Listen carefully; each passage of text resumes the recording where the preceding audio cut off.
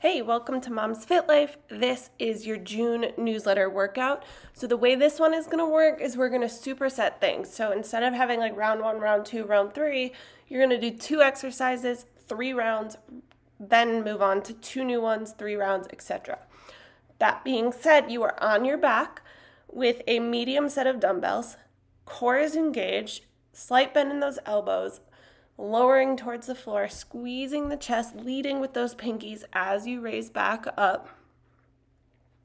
So you will do this exercise and the next one back to back three times before moving on instead of doing like six exercises on repeat. So that's called a superset.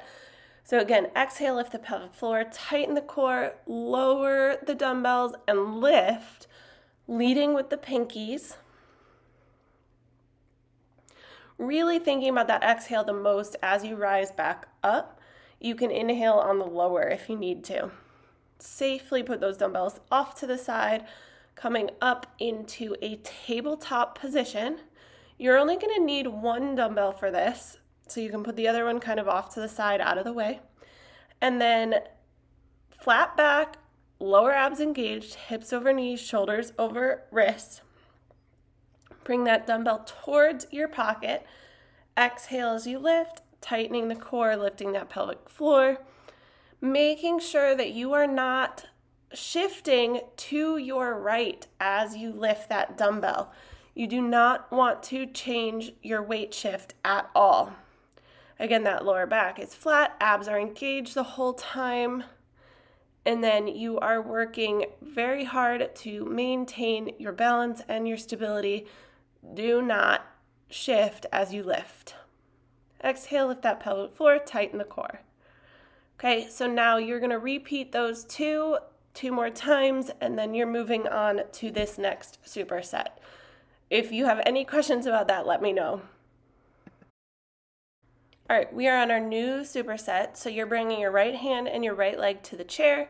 Left hand is going to row. Think about bringing that Dumbbell up in a C curve towards your pocket. Exhale, lift the pelvic floor, tighten the core, lift the elbow. So again, it's kind of doing that C curve. You're supported here, so your core does not have to work as hard, but you should still be feeling it. Making sure that you are not um, totally relying on the side that's not working. You still want to center your body weight between your legs and over the middle of your body. Head is in line with your spine. Really working through that row, elbow nice and high, coming towards that pocket. And then we're gonna go to elevated push-ups. I'm gonna show them to you on the wall. If I were to do them on the chair, I'd be hitting my head, but feel free to come to a lower surface or even the floor if you can handle it. Arms are, hands are at chest height, elbows are coming back at a 45 degree angle. So you want to make sure that like as you lower down, your head and elbows should make a nice triangle. You do not want your elbows way out to the side. Okay, so now you're going to do that two more times before moving on to the final superset. Okay, so now we're to go into that final superset. Three rounds here. You're to be on your back one more time. We're to start with a chest press. So both dumbbells up over your chest, lowering down, slight tap on the floor. Thinking about letting those shoulder blades glide around your rib cage as you lift and lower. Thinking about squeezing your chest together as you lift back up. Do not use your triceps more than your chest here.